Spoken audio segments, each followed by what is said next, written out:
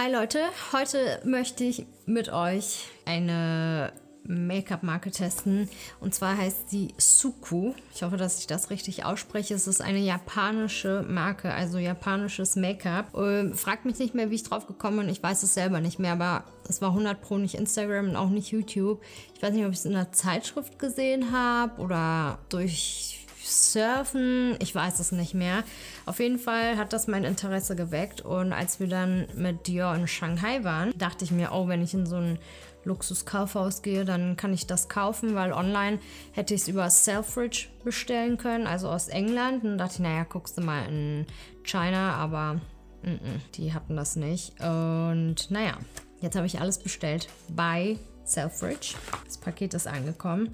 Es ist auf jeden Fall sehr, sehr hochpreisig. Also sehr hochpreisig. Und die Sache ist, als ich bestellen wollte, die Foundation, die ich wollte, liefern sie nicht nach Deutschland. Ich weiß nicht, ob da irgendein Inhaltsstoff drin ist, der hier nicht gestattet ist. I don't know. Auf jeden Fall war Jolina, Jolina Mennen, mein Engel, mein Hilfsengel. Weil sie war in England. Ich habe sie gefragt, ob sie mir das mitbringen kann. Selbstverständlich. Sie hat es mir auch zugeschickt.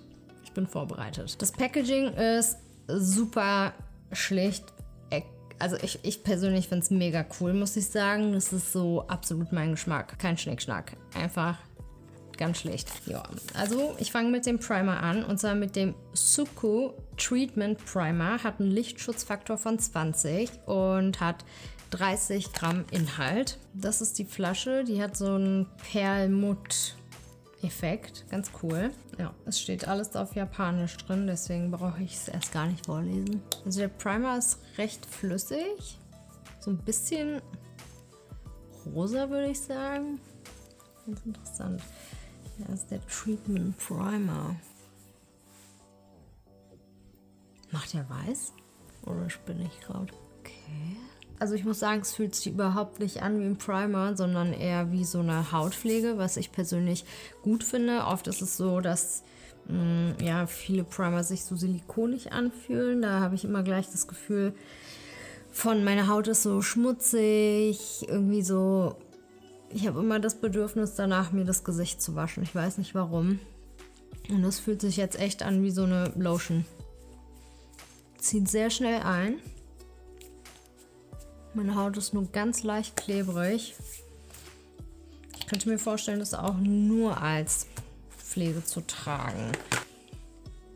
Da drin sind vier feuchtigkeitsspendende Öle. Das ist so wie ein Serum und gibt der Haut so ein leuchtenden Effekt mit einem durchsichtigen Peony Pink. Hahaha, ich habe ja gesagt, es hat so einen leichten pinken Touch. Ja, und ähm, hilft eben erwachsener Haut so ein bisschen zu strahlen. Also ich finde, es macht wirklich einen tollen Effekt. Es leuchtet aber nicht so extrem wie manch andere Brightening Primer. Und dann mache ich auch direkt weiter mit der Foundation. Und zwar ist es die Suku Extra, Extra Rich Glow Foundation, also Cream Foundation.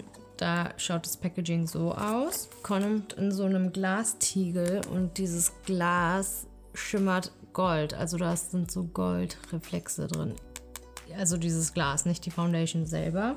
Hier kommt noch so ein Spatel. Halt das so auf. Das ist die Foundation. Ich habe Julina gesagt, weil also die Farben waren extrem kompliziert irgendwie rauszusuchen. Vieles war online auch ausverkauft. Deswegen habe ich Julina gesagt, du kennst ja in etwa meine Hautfarbe, hol das hellste mit einem neutralen Unterton. Und das war jetzt die 101. Ich werde mir jetzt mal hier so ein bisschen vom Deckel abnehmen. Das ist natürlich schon so eine kleine Sauerei mit so einem Tiegel. Wow, das wirkt ja extrem deckend. Uh. Das riecht wirklich nach gar nichts. Nach gar nichts, gar nichts.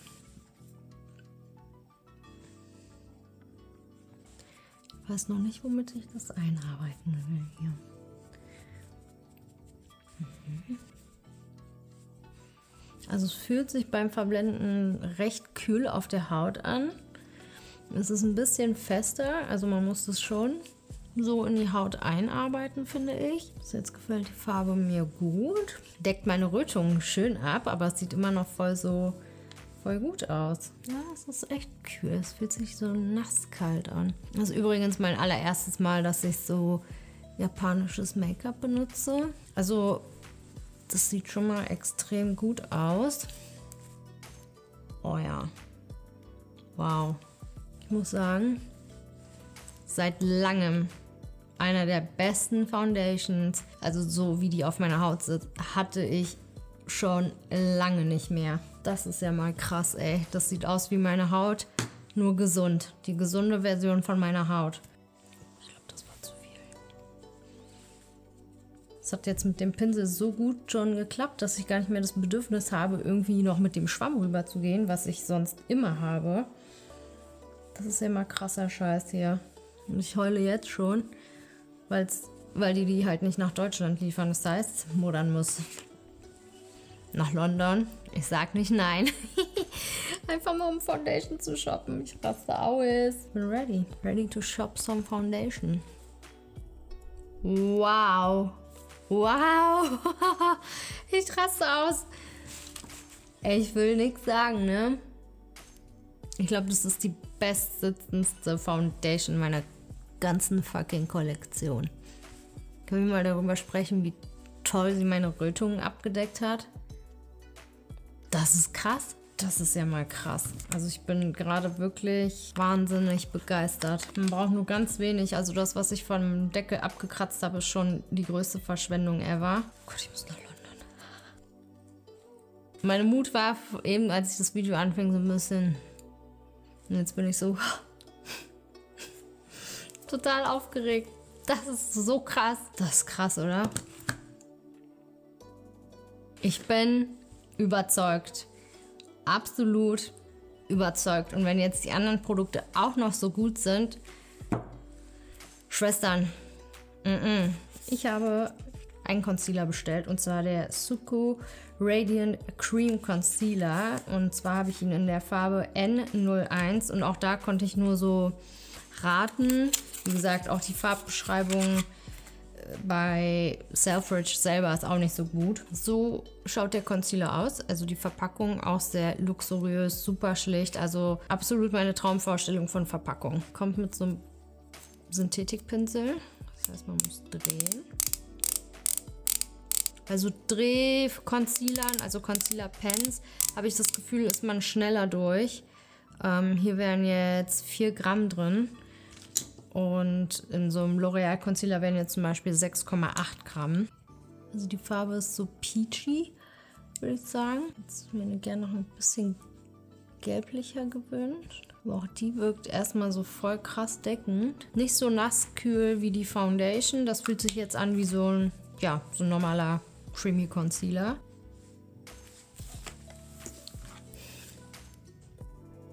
Krass. Einfach krass. Einfach krass. Was ist das? Was, da, was ist da drin, Alter? Was ist da drin, was wir hier nicht haben? Kein Wunder, dass die es hierher schicken. Gut, den Concealer haben sie ja verschickt. Nur die Foundation nicht, aber ciao. Ich würde nie wieder was anderes tragen. Kann meinen Channel zumachen, Alter das perfekte Produkt nach sechs Jahren gefunden. Ich frage mich nach diesem Video, wie viele Marken bestellen sich das und werden erforschen, was da drin ist. Einfach heftig. Das Gefühl auf der Haut ist, als hätte ich gar nichts drauf. Könnte gefühlt jetzt einfach so machen. Will ich nicht, damit es nicht, nicht kaputt geht. Also bis jetzt alle drei Produkte war Holy Grail ever. Ich habe natürlich auch ein Puder bestellt und da haben sie ein paar Variationen, aber eins hat mich natürlich sehr angesprochen und zwar ist es das Suku Oil Rich Glow Loose Powder. Das ist äh, wohl perfekt für Leute mit trockener Haut und da sind bei mir natürlich alle Alarmglocken los. Hier das Oil Rich Powder. Rich in Beauty Oils for a radiant look. It creates a moist, dewy, glowing finish. Das ist ja das, was ich liebe, wenn meine Puder nicht so todesmatt sind. Das ist natürlich perfekt für Leute für, mit öliger Haut. Aber für mich mit trockener Haut, die aber trotzdem das Make-up setten muss, weil es sonst nicht hält, liebe ich Puder, die eben Feuchtigkeit spenden und so ein bisschen Glow drin haben. Wisst ihr, nicht so ein Highlighter-Puder, sondern so ein Glow, wie das La Mer Puder, das Translucent Puder von ähm, Tom Ford, Bobby Brown hat sowas. Also die Marken haben schon solche Produkte, aber ich bin sehr gespannt auf das hier. Das ist ein recht großer Tiegel und hier sind 15 Gramm drin. Wenn ihr mal daran denkt, das La Mer Puder hat nur 8 Gramm. Also wir haben hier auf jeden Fall mehr Produkt, kommt mit so einem Powder Puff. Es steht alles auf Japanisch. Vielleicht kann uns jemand helfen. Doch, da fällt es auch schon raus. Like that. Ich sehe hier schon Schimmer drin. Könnt ihr diese Fläche sehen? Da ist auf jeden Fall Bewegung drin. Bis jetzt sind alle Produkte tatsächlich komplett geruchslos, aber es gibt viele Produkte, die haben keinen Geruch, aber die sind sehr, riechen nach sehr schweren ja, so Öl. Aber nicht die so gesunde Öle, sondern so komische industrielle Öle. Die haben so einen krassen Eigengeruch. Damit kann ich leben, aber ich habe das Gefühl, die Produkte riechen nach gar nichts. Nach Luft. Hm. Ich bin so aufgeregt, ich weiß gar nicht, was ich machen soll. Achso, so schaut das Puder aus. Auch das wirkt recht dunkel. Ich hoffe, dass es jetzt mein Concealer nicht so einfärbt. Also ich habe jetzt so einen fluffigen kleinen Pinsel genommen. Damit sette ich immer gerne dann klopfe ich das so in meine Haut ein. Ich sehe die Perlen da drin. Mhm. Also es ist auf jeden Fall schimmernd. Ich glaube, ich muss für einen Monat nach Japan oder so. Ich habe das Gefühl, ich verpasse da die, die wirklichen Beauty-Trends. Das ist was wirklich Gutes. Also meine Haut fühlt sich sehr samtig an, aber nicht so todesmatt matt, aber nicht so krass matt. Porzellanhaut. Kann es nicht anders sagen. Das Puder ist so geil. Guck mal, ich habe gesettet und trotzdem habe ich Bewegung im Gesicht. So als hätte ich gar nicht gesettet. Also wirklich perfekt für Leute mit trockener Haut. Oh yeah. Also es gab keinen Bronzer. Ich weiß nicht, ob der einfach ausverkauft war oder ob die keinen Bronzer haben. Aber die haben einen Blush. Äh, vielleicht ist das auch gar nicht der Look von denen. Die Fliege, die hier rumfliegt, Heißt übrigens Hurensohn. Falls ihr es wissen wollt. Die treibt mich schon seit einer Woche in den Wahnsinn, obwohl ich alle Fenster aufreiße. Sie geht halt nicht. Ja, und wenn ich esse, sitzt sie auf meinem Teller und macht sich so die Fühler sauber. So ganz demonstrativ. Bitch, ich wohne hier und du bist mein Angestellter. Also die Rollen haben sich hier auf jeden Fall ja, getauscht. Ich werde ein bisschen von meinem Bronzer auftragen.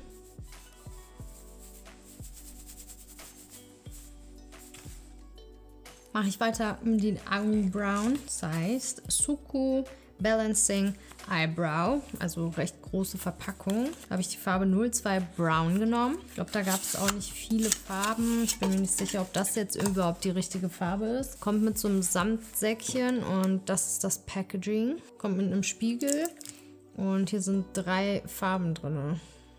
Interessant. Und noch zwei so Pinsel. Ich werde natürlich mal die dunkelste Farbe aus der Palette nehmen. Das ist die Farbe hier in der Mitte. Also das Puder ist nicht schlecht. Ich finde, es gibt die perfekte Farbe ab. Man kann das schön aufbauen und auch gut verblenden. Also es ist ein gutes Augenbrauenpuder. Es ist allerdings recht warm.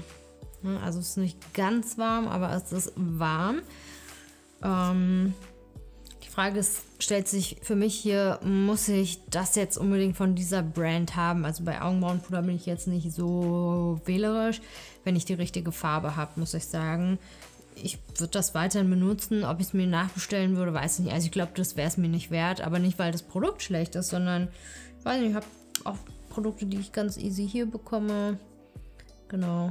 Wie gesagt, ist ein gutes Augenbrauenpuder. Ich würde es auch aufbrauchen, aber ich würde es mir nicht nochmal nachbestellen. Cool. Okay.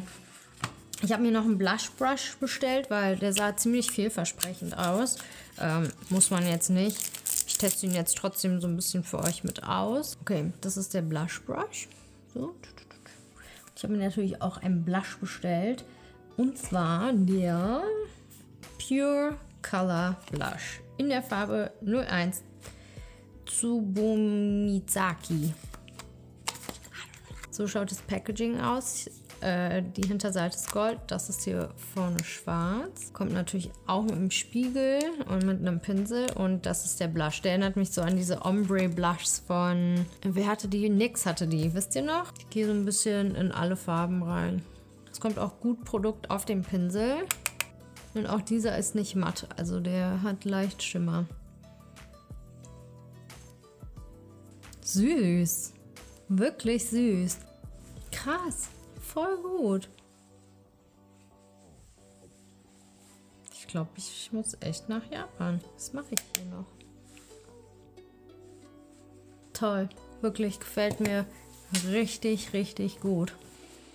Sieht alles so frisch und gesund aus. Ich bin hin und fucking weg. Hm. Das war meine Ansage. Selbstverständlich durfte auch eine Lidschattenpalette mit. Und zwar ist es die Suka Designing Color Eye. Ich habe die Farbe 12. Genkuakan. Ich lasse es einfach.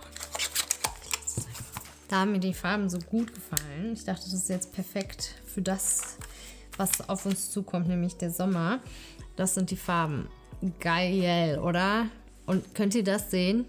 Dieses Suku, dieses Gelb oder Gold in diesem Auberginenton ist Farbe. Man kann das anfassen. Ich will das gar. Oh, Gott, ich habe schon kaputt gemacht. Wie tragic. So, ich swatch euch einmal. Uh, super weich. Uh. Hallo?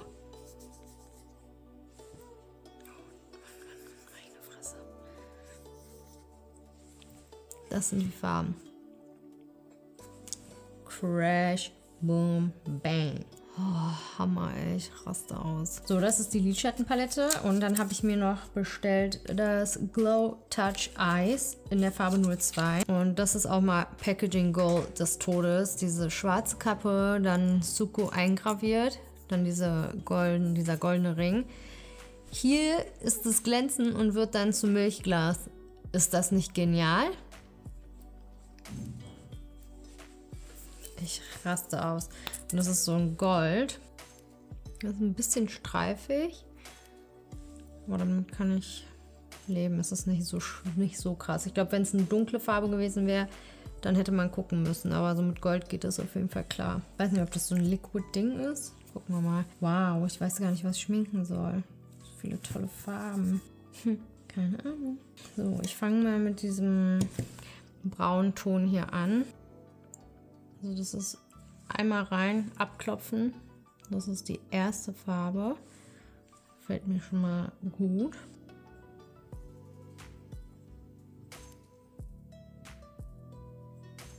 Also das Braun ist verdammt gut pigmentiert. Ich habe gerade ein bisschen zu viel genommen. Jetzt muss ich gucken, wie ich es rette. Das Braun lässt sich auch gut ausblenden. Aber wie gesagt, man muss ein bisschen also es ist mega gut pigmentiert. Man muss halt mit einer leichten Hand rein. Am besten so leicht und dann immer ein bisschen ausblenden, leicht rein und wieder ausblenden. Krass aus. So, was ich jetzt mache ist, ich werde es mal ausprobieren, diesen türkisen Lidschatten hier nehmen. Oh, das ist auch so geil. Oh.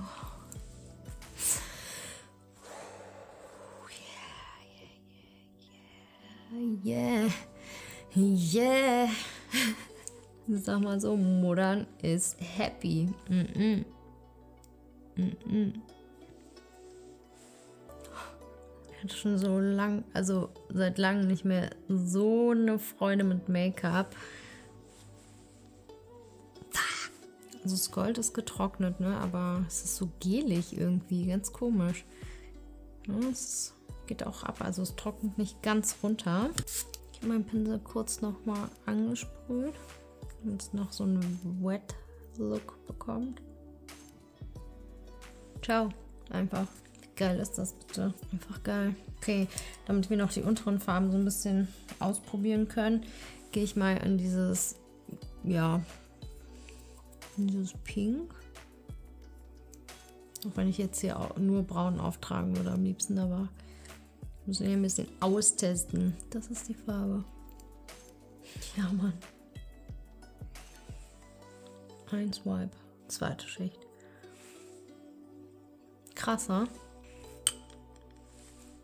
Gehe in dieses hellrosa rein. Benetze diesen Pinsel und sprühe das gerade mal an. Und das gebe ich jetzt hier an meinen unteren Wimpernkranz. Die den Effekt sehen. Ganz leicht rosa. Jetzt wird sie so perlig. Toll. Weil es so schön ist. Ähm, ach so, ich habe mir nämlich auch mal hier so einen Blending Brush gekauft. Das hat mich auch interessiert. So ein ganz normaler Blending Brush. Weil diese schöne rosane Farbe soft ist, gebe ich die mir als Highlight auf. Den Effekt sehen? Ich gebe mir die Farbe echt bis hierhin rein. Hoch zu den Augenbrauen. Einmal so reinblenden. Was mache ich mit dem Gold? Ich glaube, das benutze ich jetzt nicht. Ich lasse das so. Cause I'm so happy. Ich habe keinen Kajal bestellt, weil Kajal ist mir tatsächlich nicht so wichtig. Aber ich gebe mir trotzdem ein hier auf meine obere Wasserlinie. So. Eine Mascara habe ich auch nicht bestellt, einfach aus dem Grund, weil die keine Waterproof Mascara haben. Sprich, die hätte meinen Schwung nicht gehalten. Meine Wimpern wären wieder nach unten gegangen und dann benutze ich die Mascaras danach auch nie wieder. Und dafür ist es mir einfach zu teuer, um dann zu sagen, hat mein halt meine Wimpern nicht oben gehalten. Wisst ihr, wie ich meine? Das ist für mich dann immer ja, Geld ausgeben. Ich tusche sie mir einmal, klebe mir kurz kleine Wimpern auf und dann sehen wir uns gleich wieder. So, Lashes sind drauf. Was jetzt noch fehlt, sind die Lippen. Da habe ich mir zwei Sachen mitgenommen, weil ich mir nicht sicher war, was ich mehr mag. Und zwar einmal Suku Moisture oh, was? Rich Lipstick in der Farbe 04 und da schaut das Packaging so aus und das ist der Lippenstift. Ah, okay, das ist wie so ein wie so ein Lip Balm, also ganz soft auf den Lippen, würde jetzt auch so zu dem Look passen und da sind auch so goldene Reflexe drin, was ich sehr schön finde. Aber ich hätte gerne noch ein bisschen mehr. Und da habe ich mir mitgenommen den Suku Flawless Lip Gloss in der Farbe 06. Uh, auch schön. Auch das hat ganz viele Glitter. Partikel drin. Ich liebe ja so eine Glosse. Und der Lippenstift hatte übrigens auch keinen Geruch und ich feiere das so. Ich habe nicht ein Produkt in meinem Gesicht, was so ständig so leicht unterschwellig aufsteigt. Mega. Ja, es riecht echt nach gar nichts. Super cool. Feiere ich total. Oh, der Gloss fühlt sich unfassbar leicht auf den Lippen an. Und der Applikator ist auch so soft. Das Gefühl, als würde ich einfach nur so mit irgendwas auf meinen Lippen spielen. Also auf den Lippen ist der Gloss sehr, sehr soft. Ne? Also man könnte jetzt auch ein Lipbalm sein. Es ist sehr dezent. Wer jetzt ein bisschen mehr mag, ich weiß nicht, also könnt ihr hier schon sehen. Das ist ein Hauch von Farbe mit Glitter. Äh, was ich mir vorstellen kann, ist so ein schöner Liquid Lipstick in der Farbe und dann das als Topper noch oben drauf. Aber so für die Sommertage einfach raus. Mm,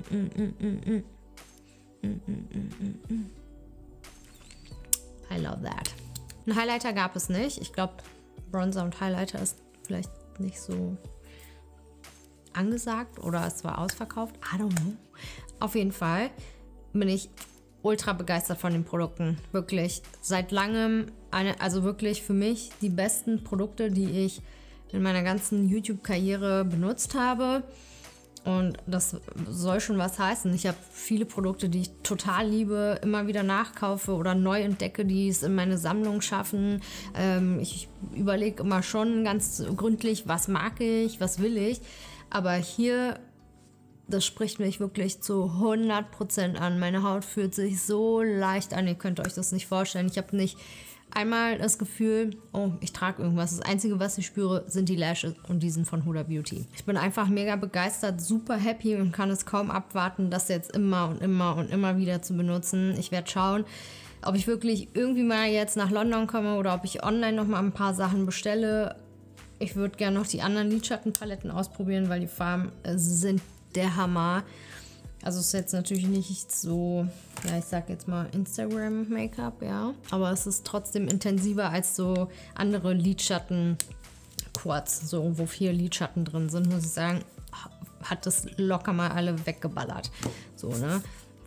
Ganz große Klasse. Wenn ihr jetzt noch Fragen zu den Produkten haben solltet, stellt die super gerne in die Kommentare. Kanntet ihr diese Marke oder ist das für euch jetzt auch ganz neu? Für mich war das absolut neu. Das allererste Mal, dass ich das je in der Hand gehalten habe.